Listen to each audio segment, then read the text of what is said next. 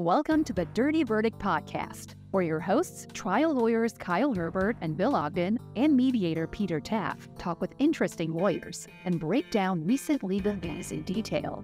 Here's Kyle, Bill, All and right, welcome back to another edition of the Dirty Verdict Podcast. I am Peter Taaffe, and I've got Kyle Herbert, Bill Ogden here as usual, and we are here with special guest, uh, world-renowned trial lawyer Tony Buzbee. Thanks for joining us, Tony. Glad to be here, Pete.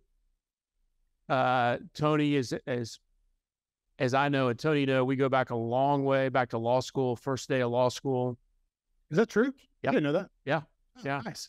We Yeah. walked in. Saw some guy walking around, uh, holding his books up under his arm like that, like a Republican, and thought he would. He looked like George Bush, like a young George Bush who was going places.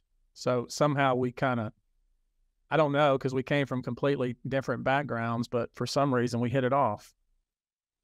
That's right. I- Um, you were sitting. eh, You were probably wearing like cut off jeans and a a, a little a hat. I remember your hair was still high and tight because you just come out of the service. And I remember still. I, I told this story. You looked at me like with the the eyes said, "I hate you so much. I can't even explain." With, it." with great disdain, with great, That's right. But do you st- but do you still wear short shorts? I do as much as possible. Yes, and I still look Same. at I'm Same. the same. Yes, Amazing. a lot, a lot has changed. To be honest, No, not no. So yeah, so we go back a long way. Worked together for a long time. Um, did a lot of stuff, and but obviously not everyone listening to this has that same experience. So I'll probably go through some things that I'll ask questions, and Tony, you know full well I know the answer, but not everyone else does. I figured we could uh, just tell us to Tony that nobody else knows. All the interviews are all stuffy, and we, I mean, we curse and drink and smoke cigars. Like, tell us, tell us the real story. Well, we'll yeah, we'll get into it. Um, I'm sure you got some yeah, so yeah, so quick. I mean, just the quick background. We all know uh, you're from Queen City or thereabouts, Texas. Mhm. You often say Atlanta, but I know real Yeah, stories. Queen people from City. people from Queen City get pissed when I say Atlanta. The people from Atlanta get pissed when I say Queen City. But the bottom line is they're they're one and the same. They're about it's about 2,700 people. Cass County is a is a county of of maybe 15,000 people. Uh, with Linden, Texas, as the county seat, which is where the, its claim to fame, of course, was the last individual killed in Vietnam. Uh, was from Linden. Uh, you'll find that at the at the courthouse. And then, of course, Don Henley is from Linden, Texas. So that's that's the two two things that Linden is known for, and, and Atlanta and, and Queen City, uh, with all due respect to them, is not really known for anything. That's right. And now you are a substantial property owner in that county, Antioch Ranch. Yeah, I think we are the the largest uh, property owner there now that the paper mill has, has begun to sell all of its land. I think we own more property in Cass County than anybody. Uh, it's mostly um, northeast Texas piney woods uh, with some hardwoods near the creeks, lots of water, uh, lots of white-tailed deer. Uh, Pete and I have spent a lot of time up in those woods. Um, used to kill two or three deer every year. At some point, I, I decided I'd killed more animals than I need to kill anymore. So now we have preserves. We have um, every kind of animal you can think of, from camels to zebras to every kind of antelope there is, uh, stags, uh, alligators, every kind of waterfowl, every kind of uh, uh, all all of the large uh, running birds. Um, it's uh, it's pretty amazing. We have a um, a lot of nice trails and with large lifted trucks that you can go through. It's kind of like a safari and and it's a kind of a big deal in Cass County. People come from all over to to drive the fences and, and look, and it's it's it's a really cool deal. What when people come out there, what which animal is the one that they kind of gravitate to or most kind of wowed by? Uh, you know, a lot of a lot of, a lot of folks have never seen hardly any of those types of animals. You know, you've seen, of course, nowadays you can see everything on TV, but um, but uh, I- like personally because we rescue a ton of donkeys. That's my favorite. I, lo- I love donkeys. Some reason, you know, I'm an ass and I love donkeys. So that makes a lot of sense. But but we also have a lot of art out there, a lot of very unusual art that you can see from the road. Uh, a lot of sculptures and so forth that people find interesting. So you'd have to ask. You know, everybody's a little different, but but uh, on a Sunday, you you basically have just lines of cars just kind of going slow, and I have to have security out there all the time because I'm always worried that somebody's going to cut one of the fences or do something stupid. And uh, so far, that hasn't happened, and people I think appreciate it. Nice. And you've got a really nice chapel out there too. Got a, got a chapel. Um, got a lot of different guest houses. Have a a chapel that we've had Easter services in. I had the governor came and gave an Easter service in the chapel once. Uh, it's about a mile and a half from the main house, so it's a nice walk. You can get a nice three mile walk in, and you can walk down and meditate. If you like to pray, you can do that. You can see all the all the the nature and so forth. Um, there, we got a lot of different walking trails. Me and Francis like to do a lot of walking. Was that Governor Abbott? No, wasn't Abbott. It was Perry. Do you find him to be a particularly religious man? Yeah, I do. Yeah, he's very, religious. Uh, Peter knows him like I do. He's he appointed me to the regents of A and M. He appointed Peter to the U of H regents. Uh, he's a, you know, a lot of people have a lot of opinions about him, but but uh, he's a he's a, a good guy. Not not I mean I don't share the same party as he does. Uh, you know, one time I remember I've told him this, so this is not a secret. But once I was I was on the reviewing stand watching the Corps Cadets march in uh, at Texas A&M. This was before I really got to know him, and I was standing behind him. And my my wife at the time said, "Man, if I had a baseball bat, I'd hit him right in the back of the head." That's kind of how we felt about him then.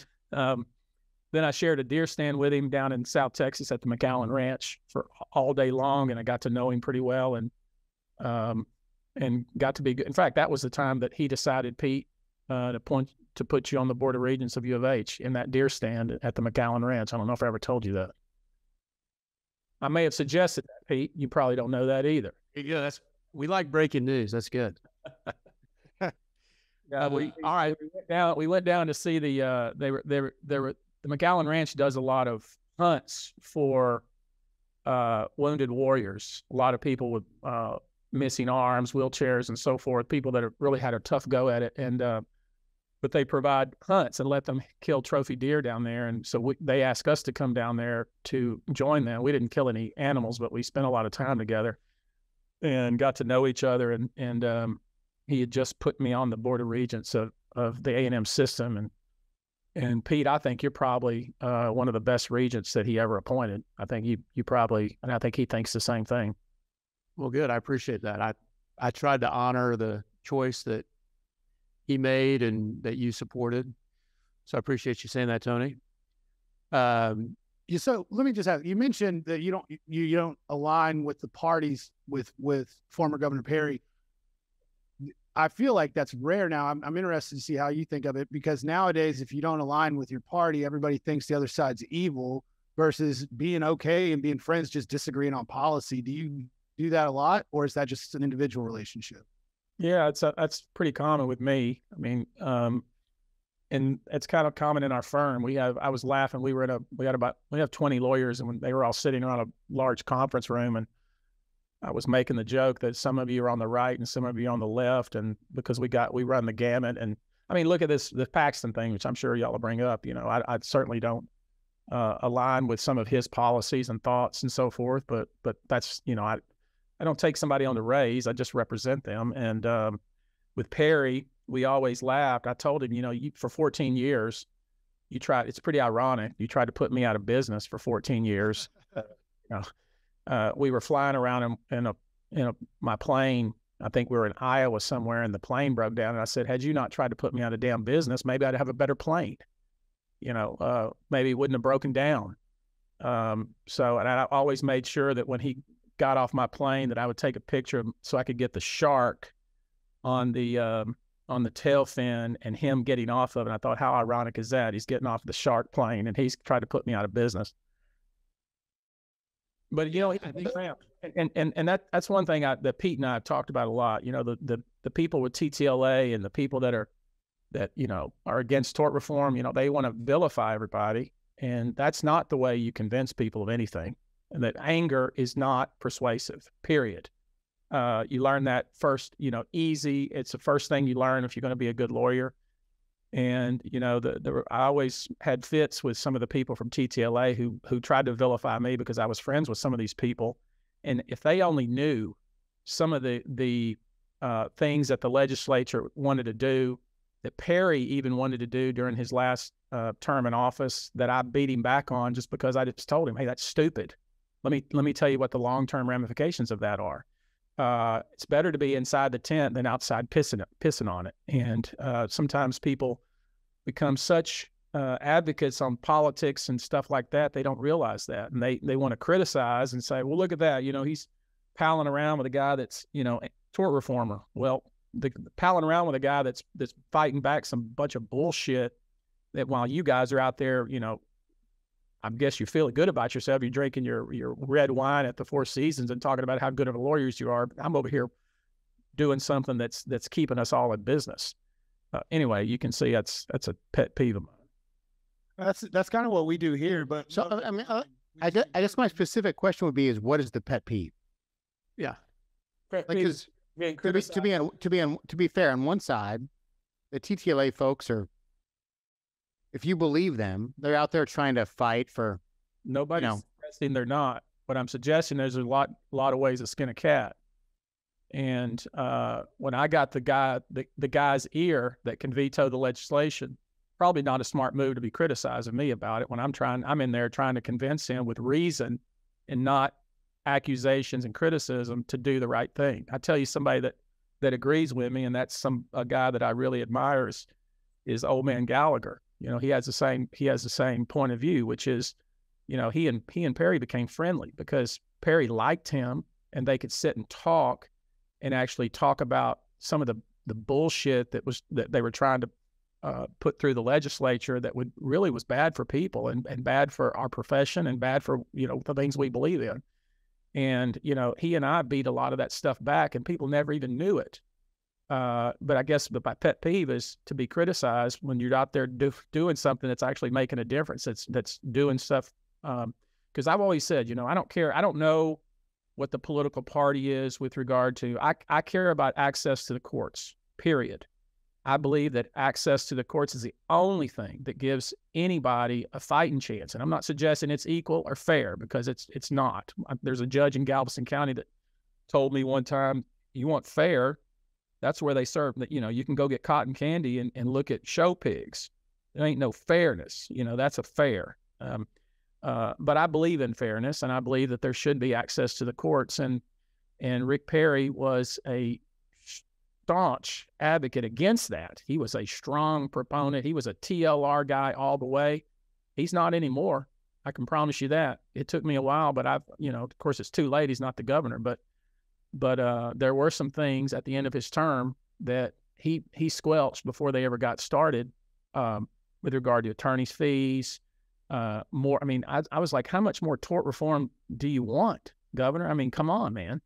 Uh, you know, you you've got to have people have to have access to the courts. I mean, it's the only chance working people have for a fighting chance at anything. Um, So talking about Perry, so I think one of the things towards the end of his administration was the fact that he was indicted by what I know you would characterize as a kind of out of control uh, special prosecutor. So obviously you had a relationship with the governor before that, but walk us through how you got hired, how you put together that team. That was your most recent time you had a high profile situation like the one you're in now. Um, how, how did that go about? And then what was the work involved on taking it ultimately to a dismissal from the appellate courts? I was I was on my way to pick up my kids from Camp Longhorn. I was I was near Austin. He texted me. I I, I had seen the news that he had been indicted. He he texted me and um, he said, "Can you come over to the governor's mansion?" I came over and he said, "I want you to lead a team. You you got carte blanche. Put together, hire whomever you want. Do it however you want." Um, uh, you know, most criminal lawyers will tell you when you're indicted, shut your mouth. Uh, I took the different approach. I, I, you know, I, Rick is a is a really good on the stump speaker, but sometimes tends not to stick to script. So I had to spend some time like, look, stick to the script. We're gonna have a we're gonna have a speech tomorrow. We have to come out hard on this because a lot of this is gonna be driven by what the, the public believes about this. And we put together a group of uh, of legal scholars uh, who were some known to be Republicans, some known to be Democrats. Uh, we we even engaged uh, uh, Dershowitz, uh, Harvard, to to to speak out about it. That's my little dog. Um, he gave a speech uh, the next day. He did a really good job, and we started trying to drive the narrative on the case. And I, I hired some some really super super smart people. I hired Baker Botts to do do the the, the heavy lifting on the briefing. I Botsford out of Austin was already engaged. He's a, a very very good criminal lawyer, and uh, I I tried to do everything I could to get the thing uh, beat back by trying to convince the special prosecutor who's out of San Antonio. Um, I went over, I flew over and talked to him. He wasn't having it. He thought he had himself a franchise case, and I told him, "You're never gonna. It's never gonna go anywhere. I'm just gonna tell you right now, it's never going anywhere." And, and luckily, I was right on that. We we had a uh, when he finally was arraigned. Uh, we walked from the governor's mansion with a group of about hundred people uh, down to get his his um, picture taken, and then we had about three to four hundred people uh, at the courthouse steps. And we came out after his booking. He gave a speech, and then we proceeded just to. I mean, I, I filed everything you can possibly file. I tried to get.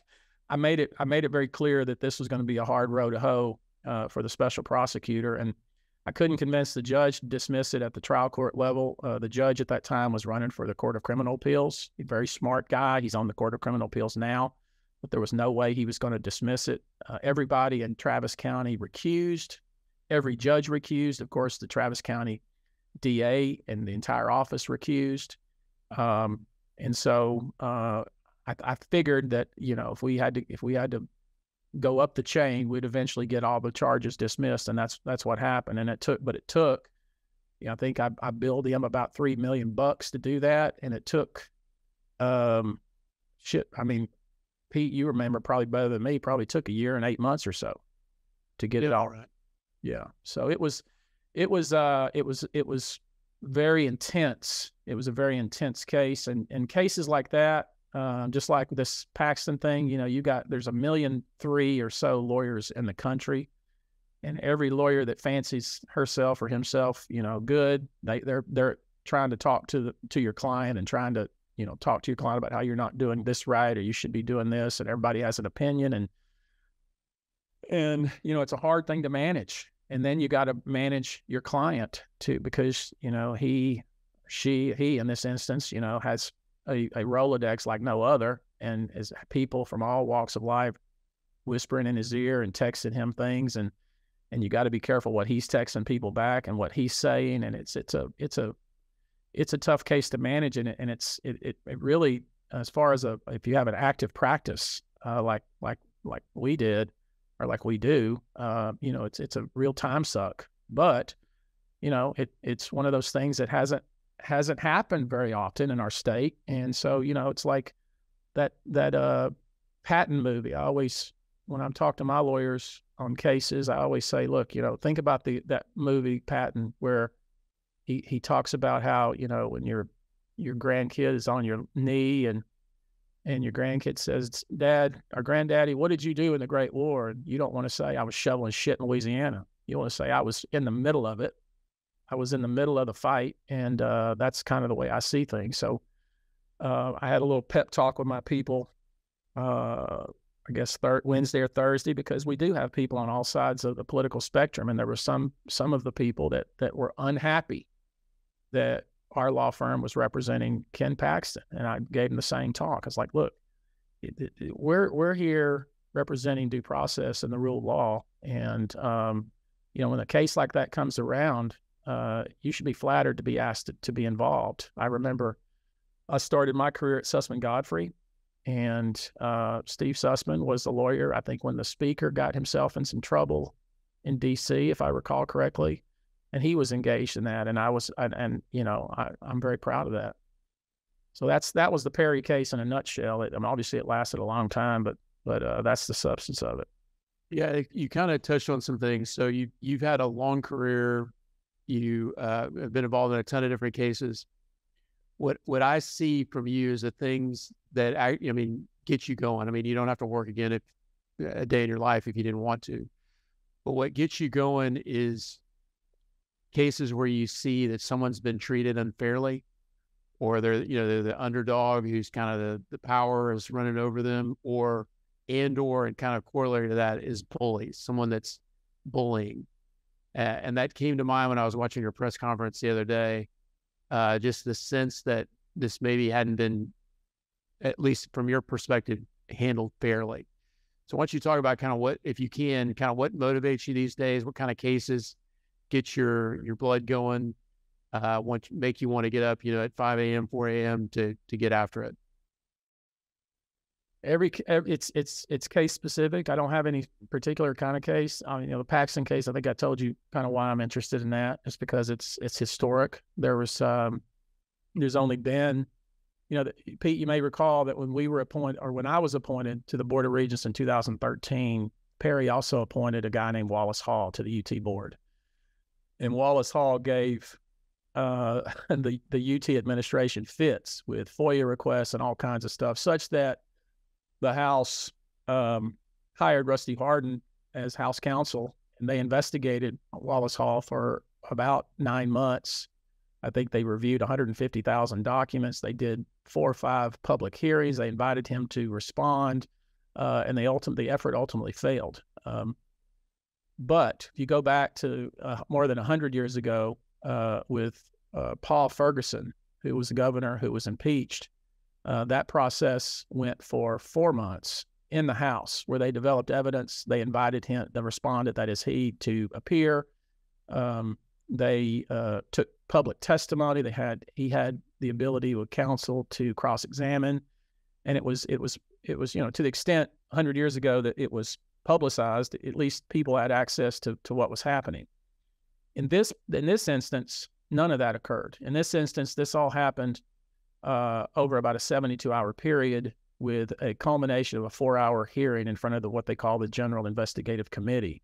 And in the committee, they didn't bring witnesses, uh, at least as we would expect. They brought the investigators who basically talked about who they had spoken to, who had spoken to other people. So it was multiple hearsay where they where they presented this at the ninth hour, uh, and they presented it in such a way. I mean, as you might expect, it's one sided and there was no documents, and it ended up with an impeachment. So that didn't sit well with me, uh, despite what somebody may or may not think about Ken Paxton. I mean, the guy has been elected statewide in eight different elections, uh, and and something that some people don't know is the the the entity behind all this. Paxton and Texans for Lawsuit Reform have had a running gun battle for at least the last two election cycles. Don't ask me why. I don't know why exactly. Uh, if it's a personality thing or if it's a if it's a policy thing, I don't know. But there's a there's a apparently a, a large rift in the Republican Party, the state of Texas, and we see this in any time that one party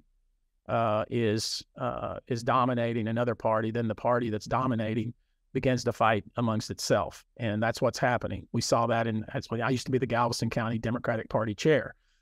You know, long time ago, Galveston County was Democrat. And so my challenge was was the two factions would fight each other. We didn't care about the Republicans because they were of no moment. We won every election. And so, you know, I had to be careful as party chairman who who I was going to stand next to because I stood next to this person. Well, she, she's part of this faction. and I had to go stand next to this person too, so that people wouldn't think that I was somehow in the bag for one side or the other. And so, right, what we have in Texas right now is we have I, I would call them the pro business Republicans fighting the more ideological Republicans. And uh, Texans for Lawsuit Reform is part of the pro-business Republicans. I mean, I'm just telling you what they claim they are. I don't. I'm not. Again, I'm not any of that. Um, so, so, which kind of Republican are you? I'm. I'm not any of that. Um, but they want. But um, so TLR, uh, who you you if you know anything about me, you know I've had a running gun battle with for years who hates me, who would who you know wishes I had died as a child. I'm sure who who passed the Buzbee bill down in South Texas, trying to put me out of business down there. Um, they are against Paxton, and so they have spent. I think they spent. I don't know how many millions of dollars in the last election cycle trying to beat Paxton. They couldn't beat him, and that's what. And I think a lot of this so, that's happening right now. So to be fair, you see this as an internecine war between Republican factions trying to unseat Paxton? No doubt about it. He's a proxy, and um, and and then you you overlay that, and without getting too too heavy into politics here, but you overlay that, you have a lieutenant governor fighting the governor, and um, and so there's a lot of. To, to, before you go too far, to be fair, you've said this is a, a situation where the lieutenant governor is fighting the governor. So which side is Dan Patrick on, and which side is the governor on? I think he's talking about that they're having a fight over property tax and how that's going to be structured. They're having a big property tax. That's right. Right now, they're having a big property tax, and and and you know, in the past, um, if if you were just as an outside observer, again, I'm not in, in, involved in any of this, but as an outside observer, you would you would think that uh, Lieutenant Governor uh, was would be aligned with Paxton, but but I don't know if that's the case now. I don't know. I don't know who's aligned with who now. I mean, to the to the lieutenant governor's credit, with you know, he's going to serve as a judge in this effort. He's been very quiet about all this. Um, and his son is one of the investigators. Is that is that accurate? I don't know. I don't think so. Uh, no, that's not accurate. Um, Ryan. But, yeah, no. Um, but in any event, I guess the point I'm making is is that the way this was done it, it, it it's offensive. It's it. I don't like the way it was done, and um, and so that that kind of moves me, and um, you know, it's going to be a historic, whatever, however it turns out, it's going to be historic. It's going to make precedents, uh, and it's going to be something that I hope everybody who cares about government, you know, uh, pays attention to. I, I got a quick question. So if if the process prior to voting for impeachment had gone the way that you described should have gone, do you still take the case? I don't know because I don't think there'd be an impeachment. I don't think there'd okay. be, a, honestly. Uh, but I think, you know, I mean, anytime you're the attorney general, I don't care where, where, where you are, you know, on the political spectrum, when the, when there's an impeachment that's only happened statewide once before, and then there was a state district judge that was impeached back in 1975, a Judge Carrillo, where they had a four month impeachment process where he was already convicted of crimes before they started the impeachment process. And it lasted almost six months in the House uh, before they actually went to the trial process in the Senate. But, you know, no matter where you are on the spectrum politically, uh, this is something that, you know, we go to law school for. This is, this is something that's going to be written about. Uh, it's going to be studied. Uh, it's going to be talked about. I mean, this is this is, and I'm a real Peter. Tell you this, I'm a I'm a real historian. I, I care about Texas history. It's something important to me, and I, I I'm a student of history, and and I'm glad to just have a role in it, no matter how slight it might be. And that's actually how we got to be really good friends, is we had a shared interest in history of Lyndon Johnson. That's right. And so that's where we we had all read all the same books, cover to cover, and that's how we actually to going back to y'all's point on the policy people who came from extremely different backgrounds got to be friends over that. And, uh, go ahead. I will. I will say from the outside, just because even though you don't declare a party in the mayor's race when you did, I think a lot of people think it's common knowledge that you are a Republican. Yeah, I, I, I fought that tooth and nail. I mean, I, um, you know, I'm I'm definitely socially liberal. Uh, maybe maybe uh, financially conservative to some degree, but um, you know, I don't know. I, I I I lost the election, and I think everybody realizes this. That election was lost years before when Trump walked into my house. That's what happened. uh, Til- Tillman called me and said, uh, Tillman Fertitta said, "Hey, you know, we're looking for a venue because Trump's coming to town, and and for whatever reason, Tillman didn't want to do it at his house. Maybe he's a smart, smarter guy than me." and I did it, and I, I you know, I did it because I just I, I thought it was a hoot. You know, the guy was on. Um, I watched The Apprentice. I really thought that was a cool show, and you know, um, and that's probably the reason the election was lost. Uh, because if you look at at the things I've done uh, the the causes I've supported, the people I've supported, you know, I don't think you could you could pigeonhole me as a Republican. So I've got a kind of a broader question. You've said that you kind of lean towards the small guy, which I respect and appreciate, and that's kind of where I come from. I'm from uh, Friendswood, Texas, kind of your neck of the woods, Galveston County. Mm-hmm. And so there are a lot of folks out there that are saying, look, uh, Paxton has avoided justice. He's he's dodged people coming after him for eight years, uh, and that he's not the little guy. That he is the uh, overarching power of the state, and that he's just finally starting to get a sense of his comeuppance because the legislature is kind of finally, after eight years, starting to lean against him. And I'm not going to endorse either side of that idea, but that is certainly what the other side would say about his position right now. What would you say in response to that? Yeah, I mean that's certainly a narrative that has been um, has been pitched. I mean, certainly that's true. Uh, you know, like I say, my my uh, interest in the case is really the historic nature of the case and insisting upon proper process. You know, look, if we want to have a a trial on 20 articles of impeachment, okay, let's have a trial on 20 articles of impeachment. Guess what? I know how to do that.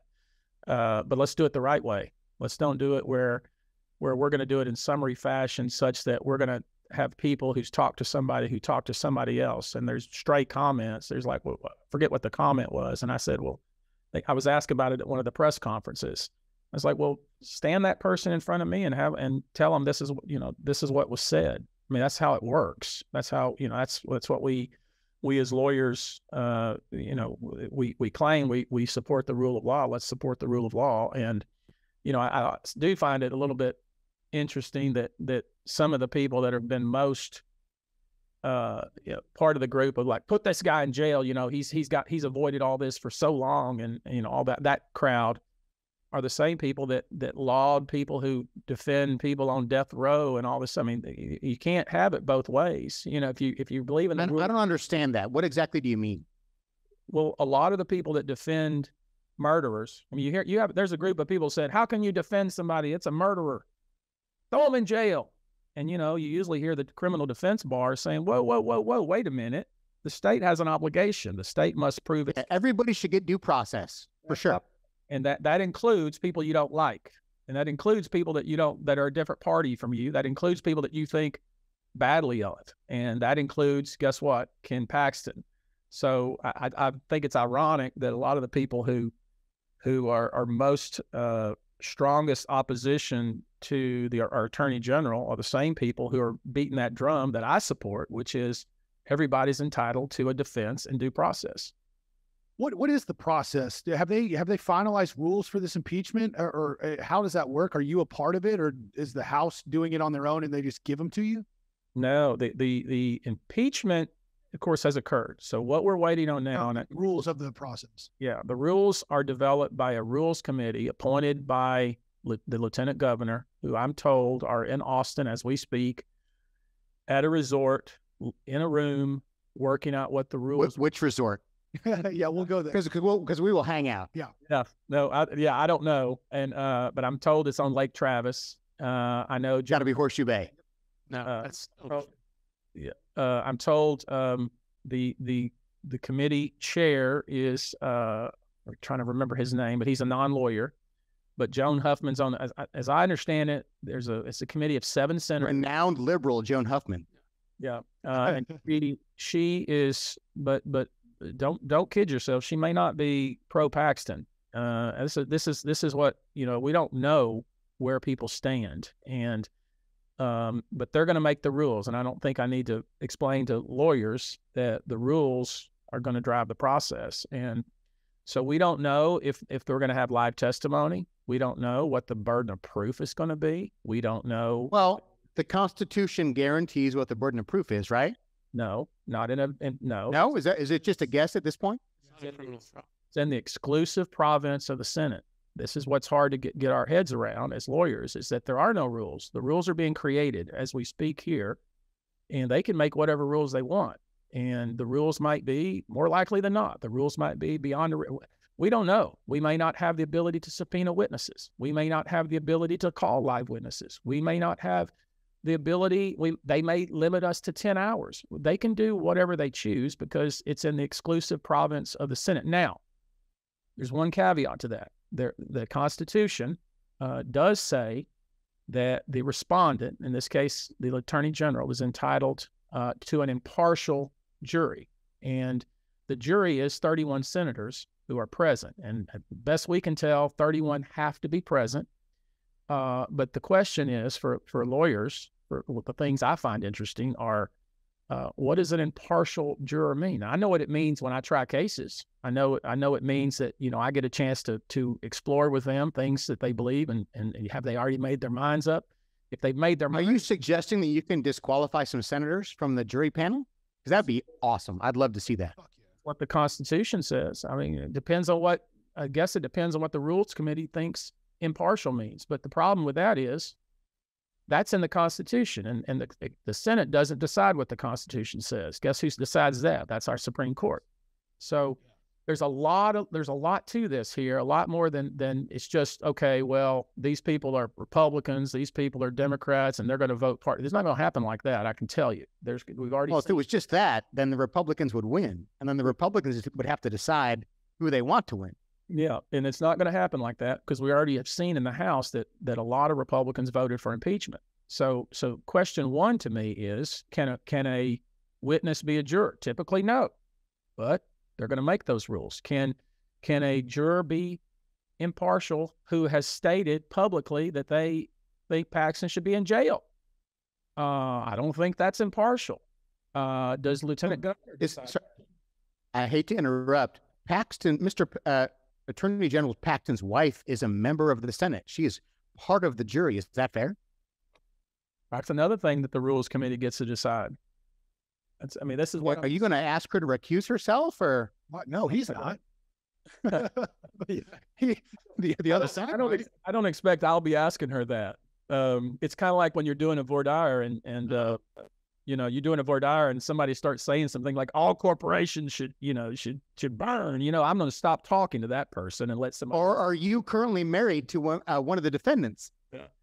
and you know, Tony knows my wife, and Tony knows my wife very well. And the question would be, if you were trying me for some crime, would you want my? I might. Yes, I would might want try to get Diana on that jury, wouldn't you? Pete, I'm getting her off. I'm getting her off because she's going to def. She's going to put you under the jail. Yeah, yeah. She's going to throw the book at Pete. So that she's a sweet lady. It sounds like y'all have a shitload of unknowns right now. How are y'all going to have everything in process to start by the 27th or 28th of August? We don't know that. That's what. That's what. This, that's why this whole thing is is is. It's like we're treading untrod ground here. We don't know anything, and we won't know. And, and we're told we'll know Tuesday. We're told that they're going to issue their. Next week. that They're going to. They're going to issue, and that's why you've heard. So what, here- that's why are these? heard- Co- is this a committee meeting on Tuesday? They're going to. Yeah, yeah, they're going to. Um, the committee is going to issue what what it believes the rules should be. And I don't think that we're going to have any opportunity to to challenge those. But but I go back to the, the one thing I keep going back to is, you know, that certainly impeachment is the according to the Constitution and the government code the exclusive province of the Senate. However, uh, the Constitution does say that the respondent is entitled to an impartial jury and so impartial jurors. And so I would suggest that anybody who has made public statements either for or against Ken Paxton, who's who've already essentially made up their minds, because a lot of these allegations, as as you have suggested, have been floating around for a long, long time, and a lot of politicians have made comments on them. I don't think people that have made those comments can be impartial. So we'll Are, see what happens if you run out of senators? Well, it doesn't say that you have to vote. It just says of those present, and you know you can you can push the white light and just be present and not take a position. So we'll see. All this is all this is is new, uh, which is why it's so historic. You'd think we'd be prepared for something like this. It, it seems like inevitable at some point it's going to happen, but Eh, I don't know. avoiding You know it didn't codify it. As somebody that cares about government, which I know you do, uh, think about this. You know, Right? now, Yeah, I know. it's Ken Paxton, who a lot of people, you know, there's a group of people that, that just don't like Ken Paxton for all kinds of reasons. Um, but next time it could be anybody else. I mean, if if if if it can be done like this, they can take out any state. So, so, so, Tony, to be fair, one of the allegations is that he has limited the ability to investigate and try these cases, which has kept him in office. So when you say, you know, this could all be applicable to somebody else, the, the response is yes, but he has limited the ability of the people to understand what he's involved in by his political power as maybe the third or maybe second most powerful politician in the state. Is that fair? I don't think that's a fair statement that you just made. I, I would say this. I mean, you know, Cogdell, who I think is a great lawyer, who, who's been involved in some really good cases and, and has done really good work, has handled the securities case, and that's that's the allegation is that he's that that Paxton somehow delayed and stifled the securities case, and that's one of the articles that he has he has he has done things that he shouldn't have done in that case. Well, the truth is, you know, that's what Cogdell got got his back up on that. I mean, he's like, wait a minute, I've defended that case. And every delay in that case, we have not moved for one continuance. Every delay in that case has been the, the two special prosecutors fighting about trying to get paid. That's been the delay. That case has been going on for almost a decade. It's been going on because Brian Wice and the other special prosecutor have not been able to get some court, some some county government somewhere to pay their bills. And, you know, I, that's really been the delay. So that's an easy one to, to dispose of. That's a, that's one of the easy ones. Um, there's some other ones, um, you know, that somebody paid for his house renovations. Well, I have the receipts. Nobody paid for those, and that's that's easy. And and and that's the point I've made. Had you just had you let the man know that that you guys were doing this, he could have. We had a they had a package. I wasn't involved at the time, but they had a package that they would have delivered, which we we have done, and uh, we tried to do as an example in the in the Perry case. Uh, Botsford had a had a package that he wanted to give to the grand jury, and they wouldn't let him do it, uh, which probably would have prevented the indictment in the first place. And uh, but anyway, without getting into the the the ins and outs of the because it's 20 we would be here for hours upon hours uh, it's going to be a historic case and it's going to be uh, I think it's going to be something that's going to set a lot of precedent. Can, can I ask one more very short question? Mm-hmm. So, the folks that have aligned against Attorney General Paxton are primarily Republican, a handful of Democrats. Does that, in and of itself, give you any concern that the majority of the folks who are lined up to attack Senator Paxton, sorry, not a senator, Attorney General Paxton are of his own party with just a handful of Democrats. Does that give you any pause or concern? I have pause and concern about the whole thing because I want to win because I think he should win. So, you know, yeah, I mean, if, if it were straight party, he wouldn't have been impeached. So, you know, we, we don't know what's going to happen in the Senate. Senate's a different animal, as you know, than the House. So if the rules come out and they're you, you, you take a look at them and you say this is horseshit, do, is there is there a, an avenue to get to the Texas Supreme Court to interpret on an interlocutory basis, or you got to go through the whole process and then do it? I don't. I, I think nobody knows, right? Nobody knows. Nobody knows. All right. This has been this has been fascinating. Yeah, uh, Tony, I, I really, I really appreciate you coming on and giving us your your best. Oh, sorry. Whoa, ho, ho. We got we got all kinds of. You can go. We're still... Well, I was just gonna say, I really appreciate your candor. This, this has been fascinating, but we're going to ask some more weird, super crazy questions. Go ahead, Pete. Yeah, no, last question. Um, are you expecting to get some kind of timeline on Tuesday as well, or do you know? I, I, you know, the scuttlebutt we get, you know, we don't know if the rumors we're hearing are true or not. You know how politics is. We hear things from other people, uh, you know, different. We don't know how politics is. We, we, we just don't know. We don't know what's going to happen. I mean, presumably, just like we do in a regular case, you get a docket control order, or a scheduling order that says here's how this is going to work. But that's yeah. only like partially enforceable at this point, right? Like who knows? And we know, you know, the the the our our uh, state government only meets, you know, a certain amount of time. So there's things that has to happen at a certain time, and then there have to be additional sessions. I think this, if we're going to do, if we're really going to try 20 articles of impeachment with no summary disposition, uh, then we're going to be there for a long time. I was going to ask, how long do you think it's going to take? Just if you have any idea at all. Well, two part question.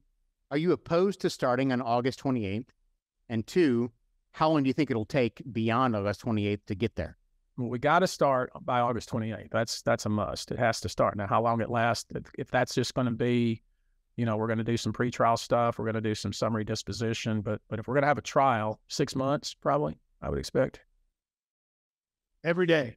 Does the indictment of Mr. Paul speed this up, shorten it, or no impact whatsoever? None that I can see. I mean, I read the indictment. It has nothing to do with Paxton.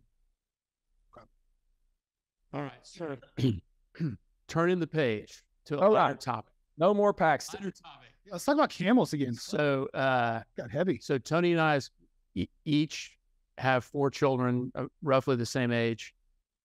Um, all mostly post college, some still in college. As you know, I think the odds of any of my kids being a lawyer is about zero. Hmm. Um, Based on how they are or their intelligence and genetics. no, they're Yes. intelligent. And, um, they Two of them are real smart. Yeah. Um, but so mine are not doing that. Do you, uh, uh, your four kids are all doing great. Are any of them, you th- have any prospect of them, them being lawyers? I think the last one, the redhead. I think I got a good shot with him. He's he Robert. Robert. Yeah, I think he he. uh I think he's heading in that direction. I hope. So you want your you you, you want your kids to, to go into law?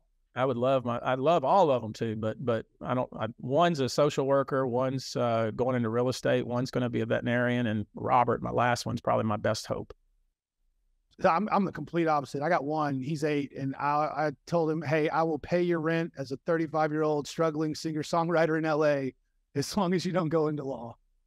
I had a That's fun. daughter. I mean, we had, I had a daughter that went to USC in the theater program, and she went to New York and and was a struggling actor for about six months. And she came mm-hmm. home one day, and we were sitting in my study, and she said, "Dad, I don't think I want to take the the subway at 4 a.m. in the morning and sit stand in line for three hours, and then you know in five minutes they say you're not what we're looking for." And she just got tired of it, so she then she chose NYU. You know, she chose the most expensive school in the country and the second most school. Went to NYU, got her social social work um, degree, master's, and now she just told me recently, Dad, I don't think I want to be a social worker anymore. So I don't know what she's going to next, but I don't think it's going to be the law. oh, that's what I, I thought she was maybe going to do that. I would love that. She would be great at it. She's got a kind heart. She's she's conscientious, and that's I think that's what makes a good lawyer. All right. So some of these, some of the listeners are younger lawyers. Um, you started first job was with Judge Kent, and then you went at Susman Godfrey, but then very quickly um, joined a smaller plaintiffs firm, and then went on your own. So for the young lawyers who are having that debate of when's when's the right time, what do I need to know before I can I do it? Uh, how did that calculus work for you on going out on your own? I was I was working out of a strip center in Friendswood, and uh, we Go Mustangs. Yeah, and I didn't have a um, I didn't have an office. I was in a little bullshit conference room. It didn't even have a space for me. But I was um, I was taking a deposition of a HR rep. I when I got there, he gave me 13 cases. Everyone, I mean, as you might imagine, you know, he needed help. This was a solo. He needed help, and he gave me the most dog shit cases he had, and uh, most of them offshore cases. And uh, when he when he offered me that job, I remember sitting with um, at Susman Godfrey on the 53rd floor of of uh, what was at that time I think the first interstate building. First Interstate, yeah. And uh, he, yeah, my buddy there was had been the managing editor of the Yale Law Review. He's a smart smart guy. Um, and I was we were trying to go through the numbers like you know I think I could make a living doing this. Is there possible I could do this? And I finally just went to the bank and said, and they gave me a hundred thousand dollar line of credit. And I went out there with uh, Richard Melanson was the guy's name. Uh, really, really good guy. And uh, he basically let me do whatever I want. And I started developing business, but I was taking the deposition of an HR rep and I was trying to establish that had this guy worked for some other company, maybe he would have had a, a, a- better uh, progression of, of salary. I was trying to establish a damage model for, for you know, his but for damage model and, and the delta between his injury and, and had he continued to work. And this HR rep told me, uh, no, he wouldn't make any more money at this other company. And I said, wait, wait, wait, what are you talking about? It's like, Well, no. Uh, if he went to Rowan or if he went to Falcon or went to uh, diamond drilling, he would make about the same. And I said, well, how the devil could you possibly know that? He said, because we meet once, uh, twice a year, and we share wage information. And I, I said, wait a minute. It stopped an interesting part. Explain. Say, explain that to me. And uh, he he uh, he said, yeah, we meet. We, yeah, we lost you a little bit there when you were talking about if he went to any other place, he would have been paid the same. And you asked, well, how do you know that? How do you know that? And he said, because we meet and we exchange wage information. And I said, where do you tell me about these meetings? He said, well, sometimes we meet in Paris and sometimes we meet in New Orleans. We've met in Bahamas and, and uh, we bring our wage lists that, you know, from the roustabout all the way up to driller, what they make. And and I said, why the why do you do that? He says, well, because you know you offer these guys these guys from South Louisiana a dollar a dollar more an hour, they'll jump ship, and they'll go somewhere else, and we don't want that to happen.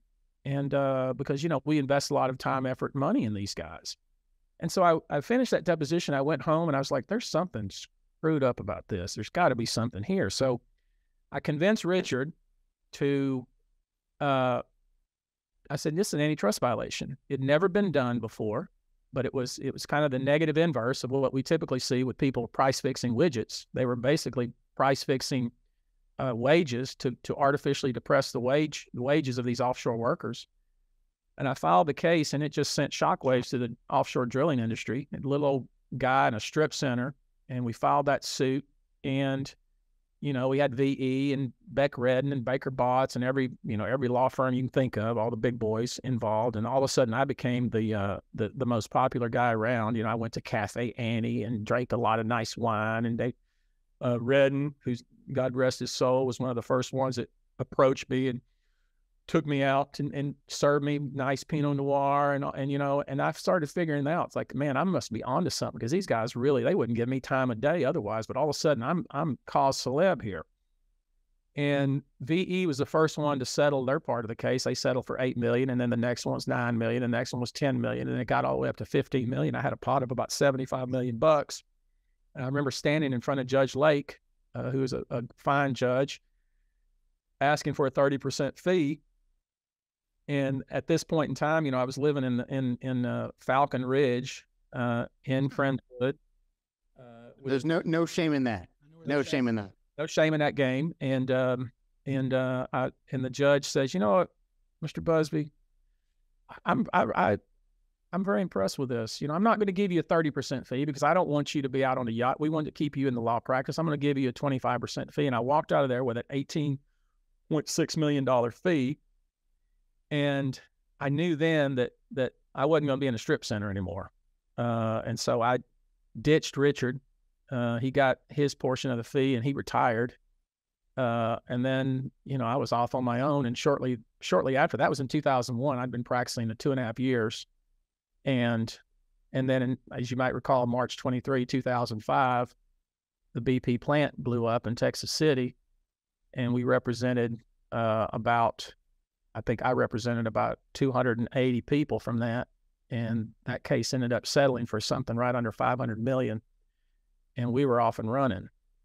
And uh, I'd probably still be in Galveston, but for Hurricane Ike in 2008. And since then, you know, we've just been blowing and going. Pete, Pete and I represented the uh, the Basque Country in Spain, uh, state of Louisiana, every every municipal government, county government, all all over te- Texas, uh, we just you know just kind of instead of just saying okay i'm happy where i am let's let's keep plugging and keep pushing and um, now here we are and what i get the most pleasure out of now is watching you you can always identify those lawyers in in your group and i've always pete will tell you this there's Buzbee satellites all over texas people that worked with us who figured out how to do it figured out how to make money and, and wanted to be their own person and i never once have been offended by that or somebody who says, you know what, I'm going to go off on my own and do my own thing because I'm proud of that. Um, but um, you know, I, I I can still identify. I know the ones now in my firm. Got about 20 lawyers, and I know there's two or three of them that like I can see that that sparkle in their eye and that fire in their belly that that probably will do the same thing. And and I I, I really really like that.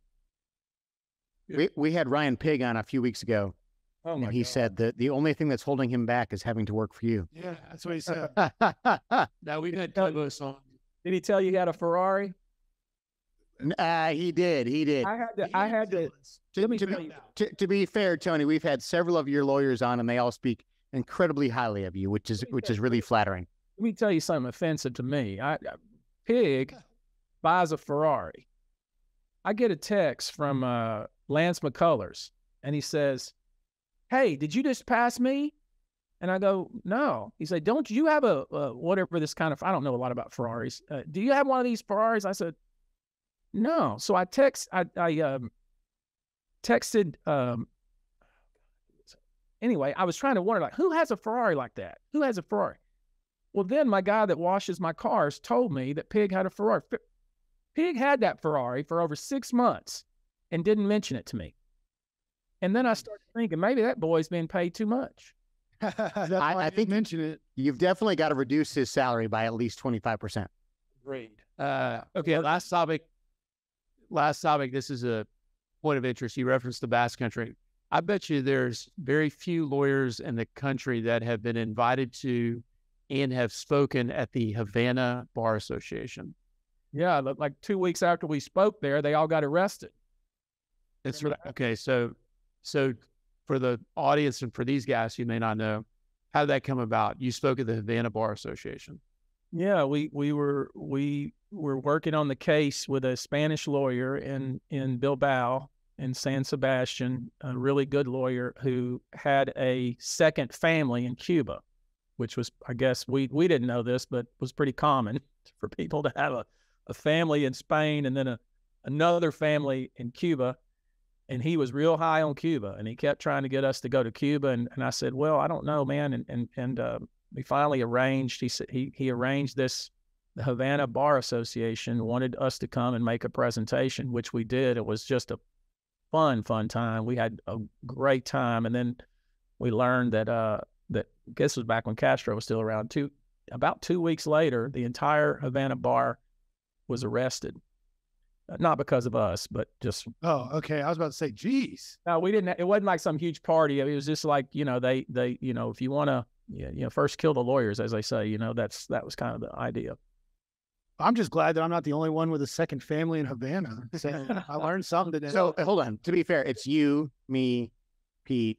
Pete's only got half a family. And, and like, I'm not hundred percent saying that uh, Benny has a family in Cuba, but probably.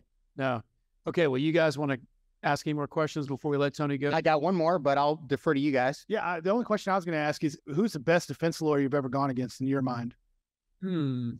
Kathy Patrick is one.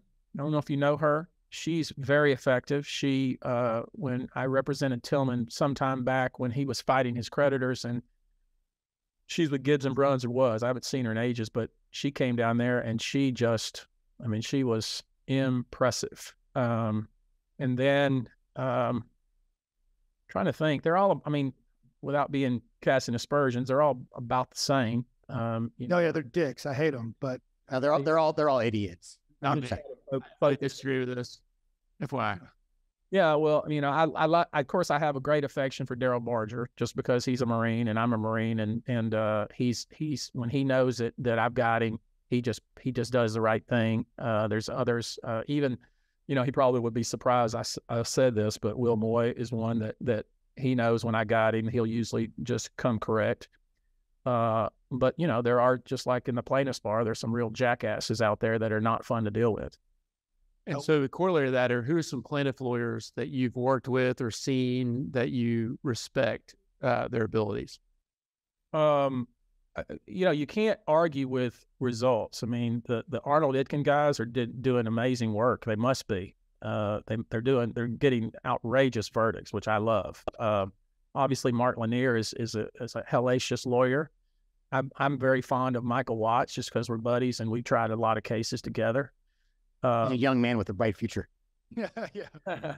um, but those are probably the guys that like if I didn't, you know, I've told my wife if if you know if I get hit by a bus, you know, these are the guys to call. I, the thing about Mikal Watts that I love is as soon as he got the not guilty, he did like a presentation. He did a bunch of presentations about the criminal process, and it was uh, Nice. two middle fingers to the Justice Department. Hundred percent. Shouldn't have fucked with me. And I, he was like, if I wouldn't had twenty five million or whatever it was to spend I on would have never bothered. I would, I would, I'd be in prison. And he was, it was a, it, it meant something, but the way that he did it was, I loved. It's hundred percent true. he's a brilliant guy. When we we tried a lot of cases over in New Orleans, Pete, I think obviously you were involved in that, and uh, that's one of those cases where I came to Pete and says we're going to make a billion dollars here, and Pete, of course, that and, and threw it in my face every time. You know, when we settled for fifty million or whatever it was, but um, well, I learned a lot. I hate those. I hate those fifty million dollar settlements. Oh, no, I learned a hell we learned a lot from Watts. I think I learned a lot from him uh, in the way he he does things. I've heard a lot of great things about Lanier's Trial Academy. You know, I have we all have our own way of doing our things, and for those guys to share that, I mean, that says a lot about who they are. You know, I I I, I got a lot of little tricks up my sleeve I don't like to share, and those guys seem to be very willing to to do that. And um, One of these days, you're going to share them with guys like me, and we're going to get so pissed when we learn them that you held them this long. Just I don't know now. I may not have really anything other than just you know just just keep beating the you know beating with a baseball bat or drop cans on people's heads or things like that. All right. So from 1995 to 2011, I went to every Texas Texas A&M game, home or away. We're meet we're meeting we're meeting back up in 2024. Thousand bucks.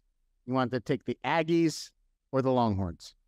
I'm taking the Aggies all day long. My question is: Is my godson going to be playing, Pete? That's the question. Yeah. So it, that was gonna be my question. You're not gonna root for number thirty. I'm gonna root for my- Longhorns I'm going to root for my godson, but I'm going to hope that his team loses. Okay. Well, So we so but but so we can we can lock this in thousand dollar bet between the dirty verdict and you. Whoa, what the- don't drive me into this. One thousand dollars. Book it. Thousand dollars. Kyle Herbert, Tony Buzbee, Aggies versus Longhorns 2024. And we appreciate the invite to your suite. We're flattered. We will be there. Book it. Even up though. I don't care what the line is. Even. Even straight straight up even bet. Yeah. So no, my son, Lord willing, should still be playing uh, next year. So hopefully we'll be on the field. I got darn. That'll be historically. Well, I mean, I, I saw that boy. I saw that boy in the state championship. That's a player. Great play. A great player. All right, guys. Thank you very much. Yeah, All right, thanks. absolutely. Thanks, man. Thank you so much for showing up, Tony. Really appreciate it. And uh, anytime you want to come back on, we'd love to have you. Thank you so much. See ya. all right. Wrap it up. Thank you everyone for joining us this week. We'll see you next week. Thanks for joining us this week. Don't forget to subscribe to the show on iTunes, Spotify, or wherever you get your podcasts. You can also visit our website at www.dirtyverdict.com. If you are interested in coming on as a guest or have a story idea, please email us at story at dirtyverdict.com.